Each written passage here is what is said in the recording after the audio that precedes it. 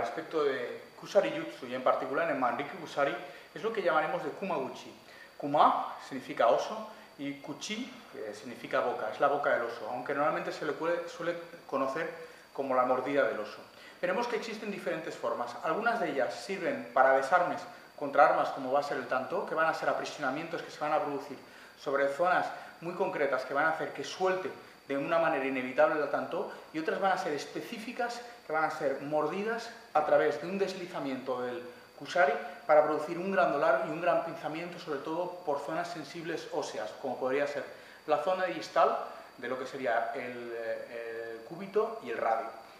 En, la, primera de las situaciones, es decir, en el primero de los casos, una vez que he sido atacado, por ejemplo, con un tsuki, con, el, eh, con un tanto, vamos, una vez después de que estemos protegidos y garantizados de que esto no nos va a actuar sobre nosotros, podemos mover para de una forma u otra pinzar sobre la zona de lo que serían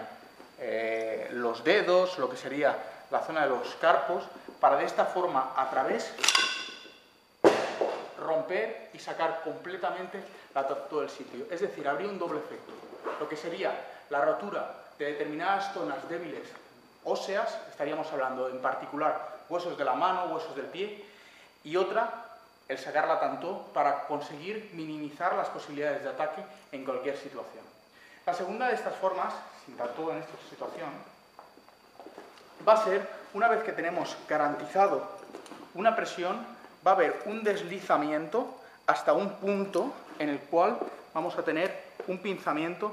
aquí. Este pinzamiento nos va a garantizar una presión suficiente para extender el punto eh, y conseguir un control mayor con el kusari. Es decir, mientras que en formas de kusari normales tendremos presiones en las cuales tenemos garantizado la presión aquí, a través de un deslizamiento en esta situación vamos a tener un pinchazo con el kusari que nos va a poder garantizar un descenso y una reducción del oponente en cualquier tipo de situación. Estas serían las dos formas, como he dicho,